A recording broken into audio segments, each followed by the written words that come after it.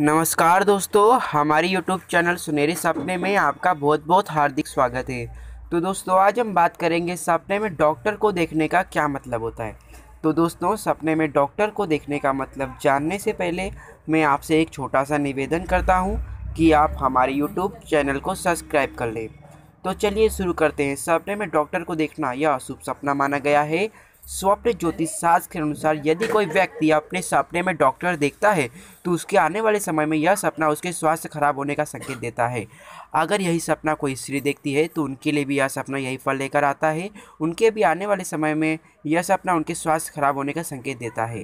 ऐसे ही स्वप्नों के बारे में और जानने के लिए आप हमें हमारे यूट्यूब चैनल पर जाकर सर्च कर सकते हैं। अगर आपको वहाँ आपके प्रश्नों का उत्तर नहीं मिलता है तो आप हमें कमेंट करें। हम उसका रिप्लाई आपको जल्द से जल्द देंगे। जय श्री कृष्ण जय माता दी।